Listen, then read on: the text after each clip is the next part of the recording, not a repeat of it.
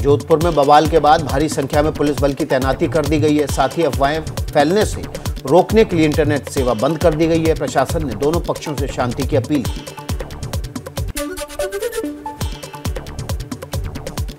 जोधपुर में जौहरी बाज़ार में जुमे की नमाज़ के लिए लाउडस्पीकर लगाने पर राजस्थान बीजेपी अध्यक्ष सतीश पूनिया ने सवाल उठाए। हिंदू नववर्ष और रामनवमी के जुलूसों पर प्रतिबंध लगा। जौहरी बाज़ार में जुम्मे की नमाज़ के दिन बाज़ार तो पूरा बंद हुआ ही पूरा ठप हुआ लेकिन सरकार के संरक्षण में सौ से ज़्यादा लाउडस्पीकर्स लगे।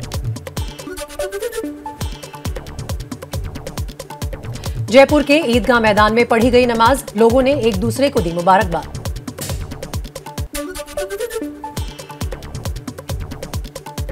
जयपुर में धार्मिक एकता की मिसाल हिंदू मुस्लिम एकता मंच के कार्यकर्ता नमाज़ के दौरान नमाजियों पर फूलों की वर्षा करने पहुँचे। दिल्ली के जहांगीरपुरी के कुशल सिनेमा चौक पर एहतियातन भारी पुलिस बल तैनात किया गया। चारों तरफ़ बैरिकेड लगाए गए। ड्रोन के ज़रिए मस्जिद और उसके आसपास इलाके पर नज़र रखी जा रही। दिल्ली से सटे गाजियाबाद के संवेदनशील इलाकों में सुरक्षा के पुख्ता इंतज़ाम। कहीं फ्लैग मार्च तो कहीं ड्रोन से हो रही है निगरानी।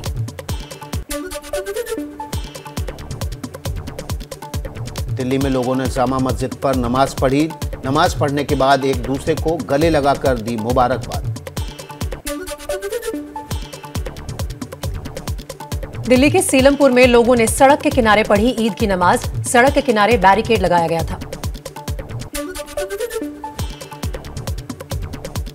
दिल्ली में संसद भवन के पास स्थित मस्जिद में भी पढ़ी गई नमाज़। शहनवाज हुसैन गुलाम नबी आज़ाद और पूर्व उपराष्ट्रपति हामिद अंसारी ने नमाज़ अदा की।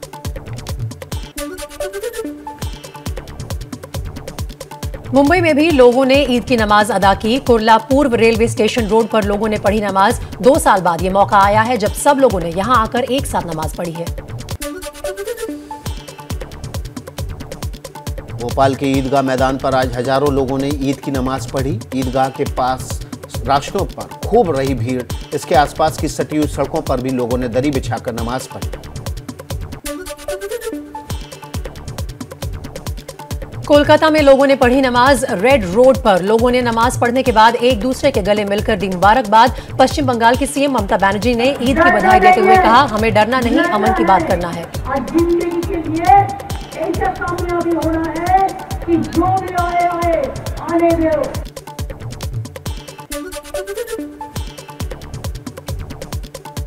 पीएम मोदी ने ट्वीट कर ईद की शुभकामनाएँ दी, लिखा, ईद उल फितर की हार्दिक शुभकामनाएँ। ये शुभ अवसर समाज में एकता, भाईचारा बढ़ाए, सभी के अक्षय स्वास्थ्य और समृद्धि की कामना।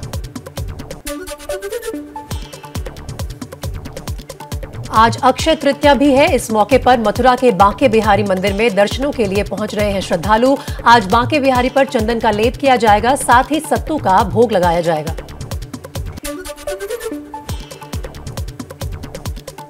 आज अक्षय तृतीया के साथ परशुराम जयंती भी मनाई जा रही है। परशुराम को भगवान विष्णु का छठवा अवतार माना जाता है। उत्तरकाशी स्थित गंगोत्री और यमुनोत्री मंदिर के आज अक्षय तृतीया के दिन कपाट खुलने के साथ ही इस वर्ष की चार धाम यात्रा शुरू हो गई है। लाउडस्पीकर को लेकर राज ठाकरे के अल्टीमेटम का आज आखिरी दिन। आगे की रणनीति तय करने के लिए राज ठाकरे करेंगे कार्यकर्ताओं के साथ बैठक। राज ठाकरे के घर के बाहर सुरक्षा बढ़ाई गई।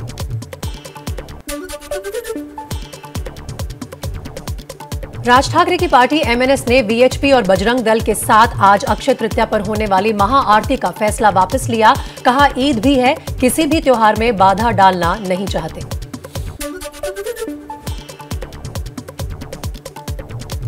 महाराष्ट्र की सांसद नवनीत राणा, उनके पद विधायक पति की जमानत पर कल आएगा फैसला। मुंबई के सेशन कोर्ट ने फैसला सुरक्षित रखा है। धार्मिक भावनाएँ भड़काने के आरोप में भी बहकला जेल में बंद हैं। राजद्रोह की धारा भी लगाई गई।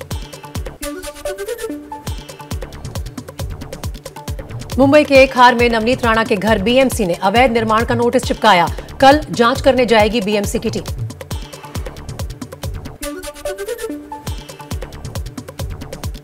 यूपी के सीएम योगी आदित्यनाथ का आज से तीन दिन का उत्तराखंड दौरा। अपने प्रत्येक गाँव में गुरु महंत अवैधनाथ की प्रतिमा का अनावरण करेंगे, जनसभा को भी करेंगे संबोधित।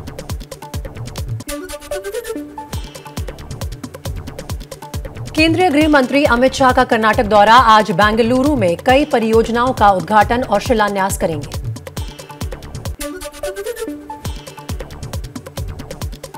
दिल्ली में बीजेपी अध्यक्ष जेपी नड्डा के घर कर्नाटक को लेकर हुई बैठक। गृह मंत्री अमित शाह, नितिन गडकरी, राजनाथ सिंह और बीएल संतोष हुए शामिल।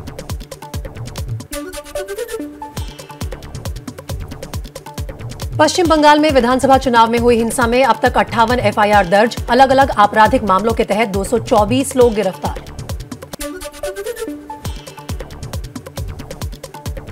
असम कोर्ट से गुजरात के निर्दलीय विधायक जिग्नेश मेवाणी को बड़ी राहत।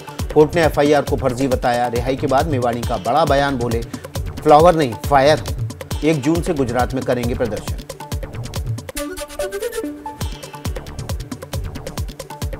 खतरे में झारखंड के सीएम हेमंत सोरेन की विधानसभा सदस्यता। मुख्यमंत्री रहते हुए खनन पट्टा और औद्योगिक ज़मीन अपने नाम करने के आरोप पर चुनाव आयोग ने नोटिस भेजा। पूछा, कार्रवाई क्यों ना हो?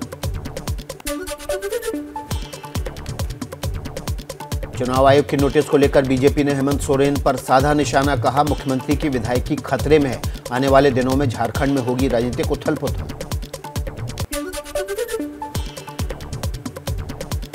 गुजरात कांग्रेस के कार्यकारी अध्यक्ष हार्दिक पटेल ने अपने ट्विटर बायो से कांग्रेस का नाम हटाया। पार्टी से नाराज़ हैं हार्दिक पटेल। पंजाब कांग्रेस के प्रभारी हरीश चौधरी और राजा ने सोनिया गांधी को चिट्ठी लिखकर सिद्धू पर कार्रवाई की मांग की, कहा, पार्टी विरोधी गतिविधियाँ और बयानबाजी पर कार्रवाई हो। दिल्ली के डिप्टी सीएम मनीष सिसोदिया का बीजेपी पर भ्रष्टाचार का आरोप, कहा, नगर निगम के स्कूलों के डिजिटलाइजेशन के नाम पर हो रहा है घोटाला।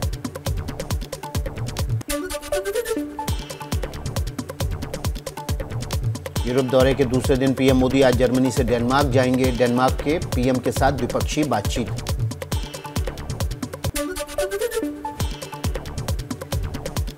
यूरोप दौरे पर पहले दिन बर्लिन में पीएम मोदी और जर्मन चांसलर ओलाफ स्कोल्स के बीच राउंड टेबल बैठक हुई। बैठक से पहले मोदी को गार्ड ऑफ़ ऑनर भी दिया गया।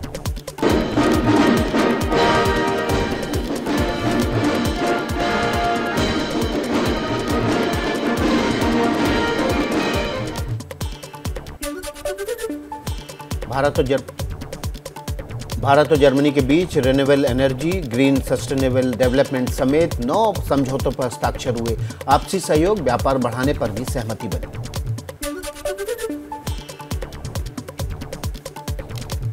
राउंड टेबल बैठक के बाद पीएम मोदी ने कहा भारत और जर्मनी महत्वपूर्ण साझेदार हैं। कोरोना काल के बाद भारत दुनिया की तेज़ी से बढ़ती अर्थव्यवस्था में सा, साझेदारी दे रहा है।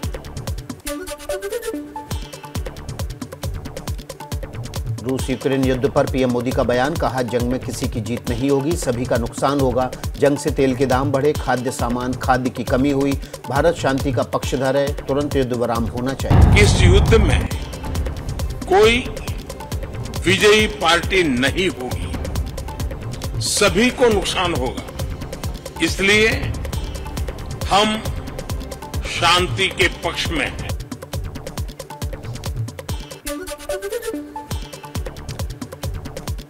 जर्मनी के चांसलर ओलाफ स्कोल्स ने भी कहा, रूस के राष्ट्रपति पुतिन जल्द युद्ध खत्म करें, सीमाएँ बढ़ाकर युद्ध नहीं जीत सकते।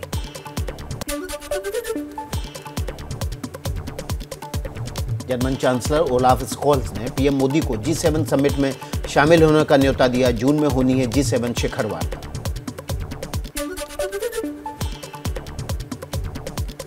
पीएम मोदी ने बर्लिन में भारतीय समुदाय को संबोधित किया। बोले, आज भारत को पता है कब जाना है और कहाँ तक जाना है। भारत अपना मन बना चुका है। जब किसी देश का मन बन जाता है तो वो देश नए रास्तों पर भी चलता है और मन चाही मंजिलों को प्राप्त करके भी दिखाता है।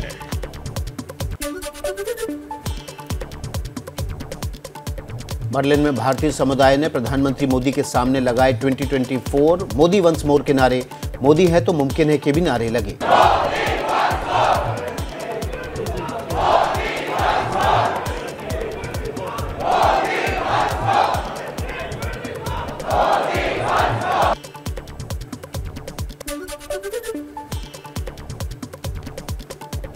पीएम मोदी के विदेश दौरे पर कांग्रेस का तंज कहा देश में संकट छाया है मगर साहिब को विदेश भाया है।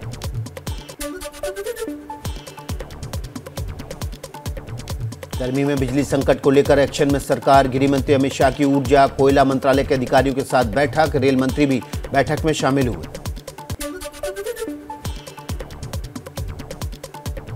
बिजली की मांग में कमी से सरकार को थोड़ी राहत कोयले की आपूर्ति भी बढ़ी ताज़ा आंकड़ों के मुताबिक एक मई को बिजली की मांग करीब दस हज़ार मेगावाट कम रही। हरियाणा के गुरुग्राम में बिजली संकट से परेशान कारोबारी पावर कट से फैक्ट्री के कामकाज पर असर संचालक परेशान कारोबारियों को नुकसान। दिल्ली में बवाना के जेजे कॉलोनी में लोगों को नहीं मिल रहा है पीने का पानी। सरकार पर आरोप फ्री पानी का सिर्फ़ वादा ही रहा पानी खरीद कर परिवार को पिला रहे हैं। भयंकर गर्मी में दिल्ली में गहराया पीने के पानी का संकट, चिल्ला गाँव में घंटों लाइन में लगने के बाद मिल पा रहा है पानी।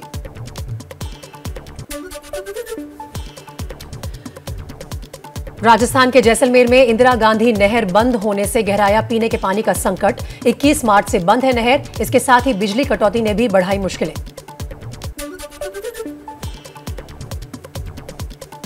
भरतपुर के जटेरी गाँव में पानी भरने को लेकर दो पक्षों में बड़ा विवाद, जमकर चले लाठी डंडे फायरिंग के में एक शख्स की मौत छह लोग घायल मध्य प्रदेश की राजधानी भोपाल के बाणगंगा में पानी की किल्लत से लोग परेशान स्थानीय लोगों के साथ कांग्रेस ने किया मटका फोड़ प्रदर्शन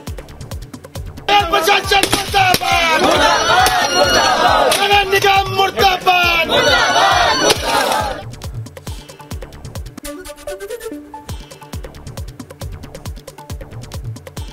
मौसम विभाग के मुताबिक दिल्ली में मई के पहले हफ़्ते में तापमान 40 डिग्री तक रहने के आसार हीट वेव से मिलेगी राहत, लेकिन आज से 6 मई तक आंधी से हो सकती है परेशानी।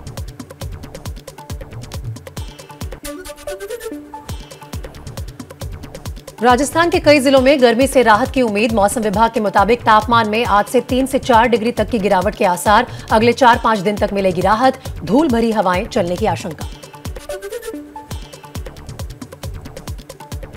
पीएनबी घोटाले के आरोपी मेहल चौकसी पर सीबीआई ने 22 करोड़ की धोखाधड़ी का एक और केस दर्ज किया। सरकारी कंपनी आईएफसीआई ने धोखाधड़ी का आरोप लगाया।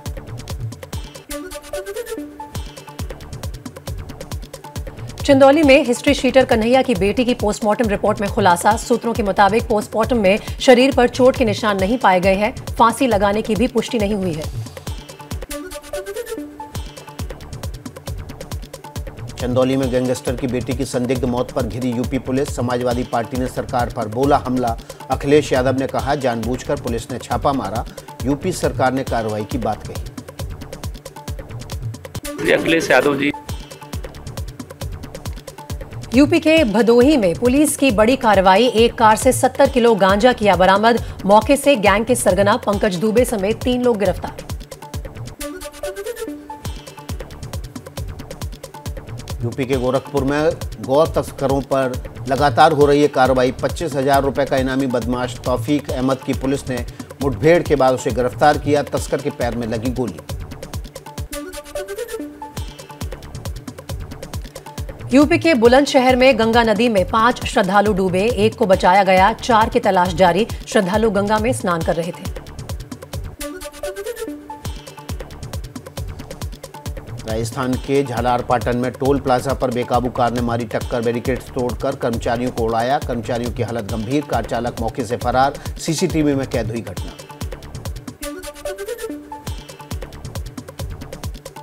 दिल्ली के भलसवा लैंडफिल साइट में अब भी पूरी तरह नहीं बुझी है आग। दमकल विभाग के कर्मी आग बुझाने में जुटे हैं।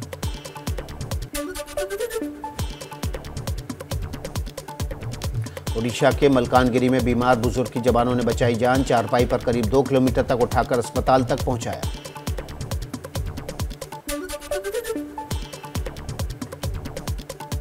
एमपी के अलीराजपुर में एक दूल्हे ने तीन दुल्हनों के साथ शादी की, वायरल हुआ वीडियो। समरथ मौर्य नाम के आदमी ने आदिवासी रीति रिवाज से की शादी।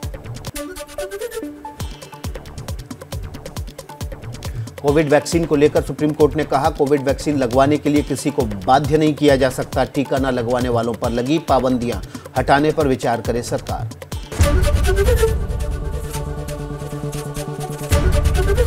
एबीपी न्यूज़, आपको रखे आगे।